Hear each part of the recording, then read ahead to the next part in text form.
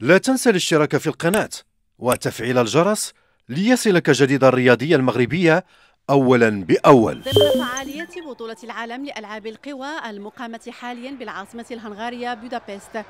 لم يحالف الحظ العداء المغربي عبد العاطي القص للمرور إلى السباق النهائي لمسافة 800 متر في أعقاب احتلاله للمركز السابع ضمن السلسلة الإقصائية الأولى مكتفيا بتوقيت دقيقة واحدة وأربع وأربعين ثانية وخمسة وخمسين جزءا من المئة من الثانية. صراحة السباق كان جد سريع بزاف دقيقة 43 اللي هي ماشي سهلة وكل شيء تعرف أن الإقصائيات 800 متر تتأهلوا جوج عدائين. يعني واخا تكون أنك داخل في رقم قوي إلا ما احتلتش المراتب الثانية ما غاديش تكون متأهل.